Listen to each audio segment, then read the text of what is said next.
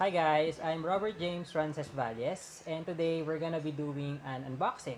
Um, a few days ago, I tweeted or Instagram story where I could buy a Nintendo Switch and fortunately, someone sent me a unit. So thank you, Nintendo. So here it is. Um, so we have here, oh, and uh, we have something called Elgato HD 60 S Plus. Uh, looks like someone wants me to stream. Um, we also have, oh, The Witcher. Um, I think this is a Netflix uh, the TV series. So from TV series, now a game. So good job, Netflix. Um, and some special papers. All right, put it there. And of course, we have our Nintendo Switch unit. Um, there we go. I first bought my Nintendo Switch way back 2017. And then I purchased another one last year, the Lite, and then the version 2. So this is my first Nintendo Switch for this year. And way back 2017, I used to have so many games. So, this is unboxing. Um,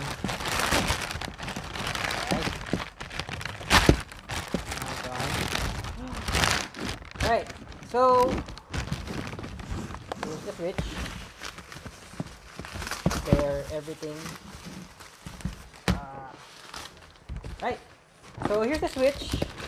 Uh, please keep the echo bag and the receipt for warranty purposes. Oops, looks like I already tore down uh, the echo bag and the sleeve and everything. So I think I should um, tear down as well the receipt since there's no warranty.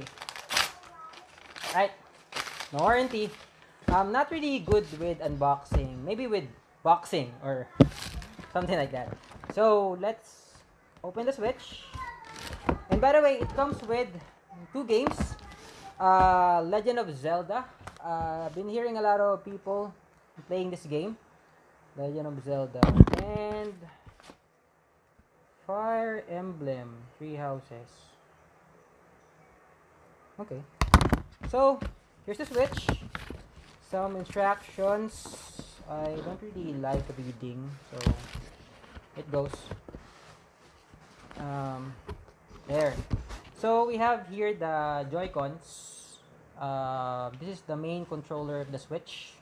Put it here. Um, and here's our Switch unit. Nintendo Switch version 2. The tablet. Put it here.